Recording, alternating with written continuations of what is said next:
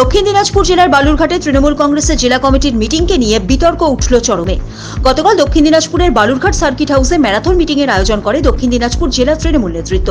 সেখানে মিটিং এর পাশাপাশি আয়োজন করা হয় এলাহি খাওয়া দাওয়ারও। আর এই ঘটনাকে এক হাত নিলেন বিজেপির রাজ্য নেতৃত্ব সায়ন্তন বসু। বিজেপি রাজ্য নেতৃত্ব সায়ন্তন বসুর অভিযোগ, তৃণমূল কংগ্রেস সার্কিট হাউসে অন্যান্য রাজনৈতিক দলের মিটিং করার অনুমতি দেন না। অথচ তৃণমূল কংগ্রেস দলটি মনে করে পুরো রাজ্যটাই তাদের সম্পত্তি। তাদের যখন খুশি, যেখানে খুশি মিটিং তারাই একমাত্র করতে পারবেন। তাহলে সার্কিট হাউসে ওরা মিটিং করবে না কেন? এটাই তৃণমূলের কালচার দলটা তো নেই। পুলিশ আর ডিএমকে দিয়ে এখন দল চালাচ্ছে। তার জন্য ডিএম এর প্রপার্টি সার্কিট হাউসে আমরা থাকতে পারব না। আমার এমপি ঢুকতে পারবেন না। কিন্তু ওরা মিটিং করবে। পশ্চিমবঙ্গের বাস্তবিক গণতন্ত্র কীভাবে চলছে, প্রশাসন কীভাবে চলছে, এটা তার নিদর্শন। কিন্তু এটা ছোট ঘটনা আমি বলছি তো তৃণমূলের চোখে। তৃণমূলের থেকে আরও বড় বড় ঘটনা ঘটিয়েছে। এদিকে তৃণমূল কংগ্রেসের দক্ষিণ দিনাজপুর জেলা কোঅর্ডিনেটর সুভাষ চাকি বলেন গতকালের মিটিংটি তৃণমূল কংগ্রেসের দলীয় মিটিং ছিল না। মন্ত্রী ও এমএলএরা মিলে মিটিংটি করেছিল তবে দলীয় কথাবার্তা সেখানে কিছু হয়েছে। জেলায় আসেন তখন সার্কিট হাউস দেওয়া যায় এমনটা অভিযোগ সায়ন্তন বসু। এই বিষয়ে আপনার বক্তব্য কি? প্রথমেই বলি এটা প্রশাসনের কাছে জানতে পারলে ওনারা জানতে পারবে ওটা তৃণমূলের মিটিং ছিল না। এমএলএ সাহেবের আহ, মন্ত্রী সাহেবের কোনো বৈঠক ছিল সেটা প্রশাসনের কাছে খোঁজ করলেই ওনারা জানতে পারবে।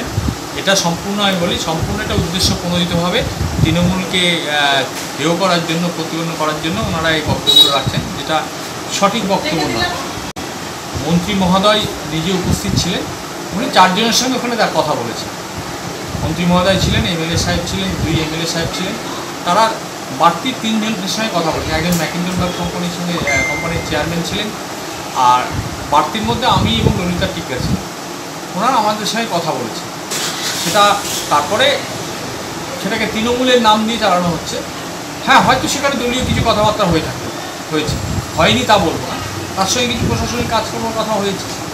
প্রশাসনে যেহেতু আমরা সরকারি দলে আছি মন্ত্রী আছেন, এমএলএরা আছেন ম্যাকিন্টন দলের চেয়ারম্যানরা আছেন, সেখানে প্রশাসনিক কথাবার্তাই বেশি হয়েছে। তার সঙ্গে কিছু দলীয় কথাবার্তা হয়েছে এটা অস্বীকার করার জায়গা নেই। তাই বলে তৃণমূলের মিটিং হয়েছে এটা আমরা কোথাও আপনারা কি আপনারা তো কালকে ছিলেন। আপনারা কি দেখেছেন কোথাও তৃণমূলের ঝান্ডা বা কোথাও তৃণমূলের স্লোগান হয়েছে বা কিছু হয়েছে? এটা হয়নি। তবে গতকাল তৃণমূলের জেলা সভাপতি স্বীকার করেছিলেন এটি রাজনৈতিক মিটিং ছিল। সেখানে তৃণমূলের জেলা কমিটি গঠন করা নিয়ে আলোচনা হয়। আজকে আমাদের মিটিং হলো বলতে মিটিং আমাদের এখনও চলছে। এখনও কিছুটা বাকি আছে আমাদের আলোচনা।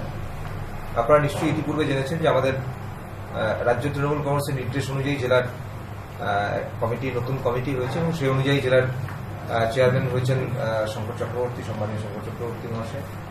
দুজন কোঅর্ডিনেটর হয়েছেন, মাননীয় ললিতা টিক্কা এবং সম্মানীয় সুভাষ চাকরি প্রেসিডেন্ট হিসেবে আমি গৌতম দাস আমি নিজে আছি।